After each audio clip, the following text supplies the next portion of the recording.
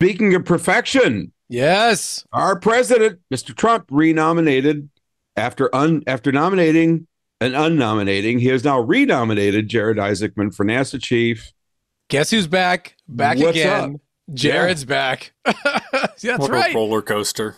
I know, right? Somebody explain this to me, please. It's- He was he was nominated. He was pretty much on the precipice of being appointed, and at the last minute, back in like May or June, yeah, right? Was it Yeah. May? It was it was many months ago, um, and Yeah. they pulled the nomination, and we've uh, just been in limbo since. Uh, they handed the acting administrator job over to the Department of Dr- uh, Department of Transportation Secretary Sean Duffy, um, who does not have a NASA background by any means, uh, and oh, now you're so polite.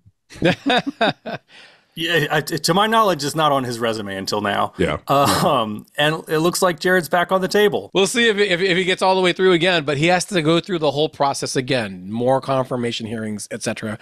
He has been meeting with people. I, we, I saw a, a tweet. He was meeting with some some folks in the government on a plane to talk about his his stances and that kind of thing. I guess we're going to get through through it all.